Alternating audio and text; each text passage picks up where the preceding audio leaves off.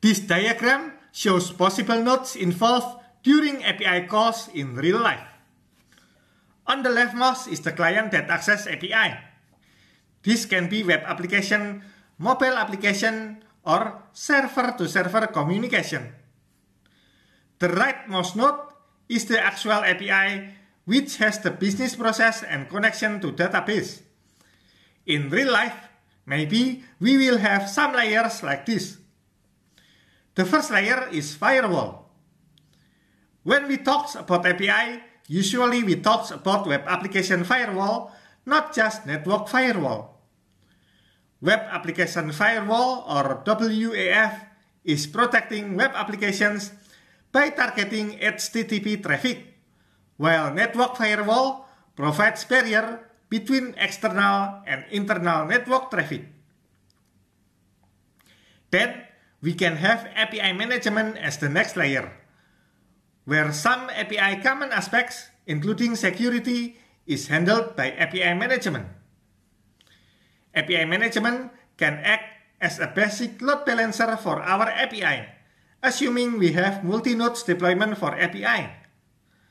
However, sometimes we need more advanced capability rather than basic load balancer, maybe like URL rewriting. In this case, we can have more advanced product like Nginx, which act as more advanced reverse proxy than just load balancer. Then we finally go to the actual API. Some functions among these layers might overlap. So it really depends where to put what policy.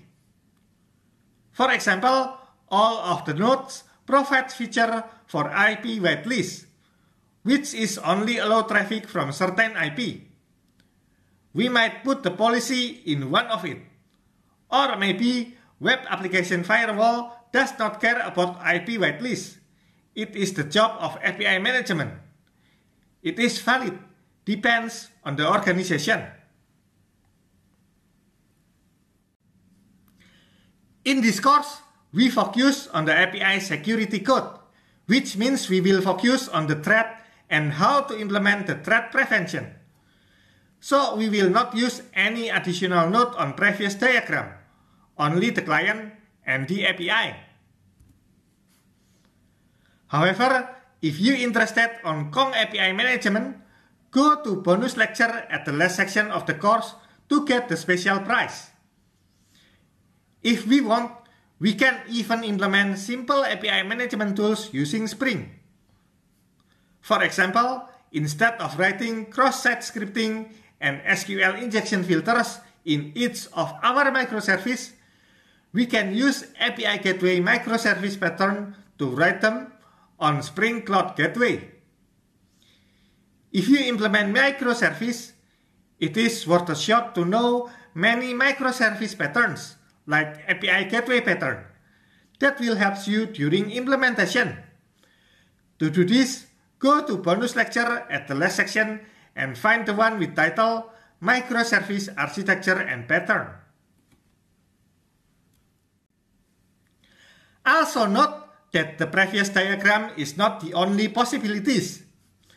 For example, we might have something like this, where high-performance hardware load balancer is put up front, and API management cluster put behind it, which also acts as software load balancer to API instances.